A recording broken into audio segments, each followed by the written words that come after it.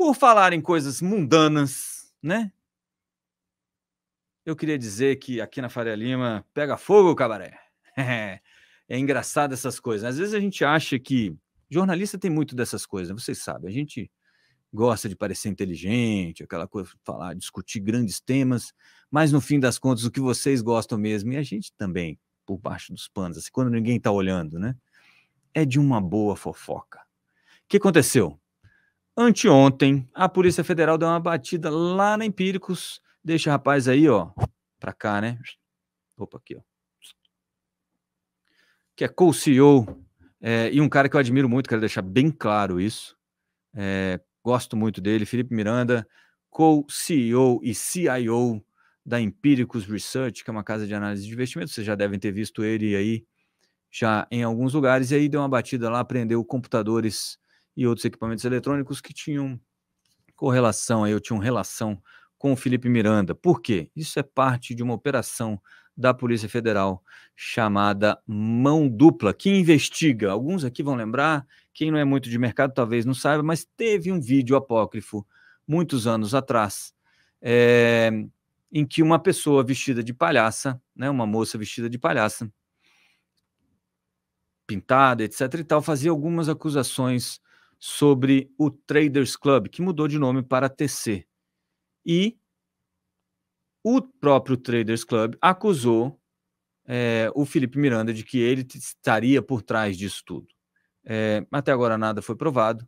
A polícia, é, a CVM, a Polícia Federal estão investigando ainda esse caso, mas o problema é que durante as investigações apareceu uma denúncia contra o Traders Club por manipulação de preços de mercado. Não vou explicar exatamente o que é aqui agora, mas é tentar manipular os preços colocando ordens lá no book, né? Para quem mexe com, com ação, você vai lembrar que tem um book lá que aparece para você quanto que o nego está pedindo e quanto que os caras estão é, pedindo para comprar, quanto que eles estão oferecendo para vender.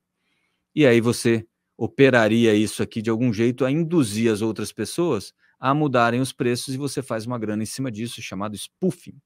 É, e apareceu essa denúncia anônima durante as investigações e a Polícia Federal também está atrás disso. A batida que teve no começo da semana lá na Empíricos aconteceu concomitantemente lá no TC. Pode colocar aí, meu querido Joelto. E aí, o alvo era não só o Traders Club, como também aí o CEO do Traders Club, que é esse rapaz simpático e bonito aí, bem arrumado, chamado Pedro Albuquerque. Certo? Lá também pegaram o celular dele e computadores. Tá? Tudo isso faz parte desta investigação aí é, do vídeo e de manipulação de preços de mercado. Tá? A gente não sabe exatamente o que é, que parte da investigação é essa, mas a operação já tem nome sugestivo, que é a Operação Mão Dupla da Polícia Federal, tá bom? Foi isso. Lá na terça-feira, então, Polícia Federal esteve ao mesmo tempo na aqui na Faria Lima, no prédio do TC e no prédio da Empíricos. O TC ainda está na Faria Lima, né? Ou mudou? Tá, tá na Faria Lima. É, tá ali pertinho. Bom, beleza. Então é isso. E aí, rapaz, aí, isso aí rodou o Twitter ontem, viu? Se preparem.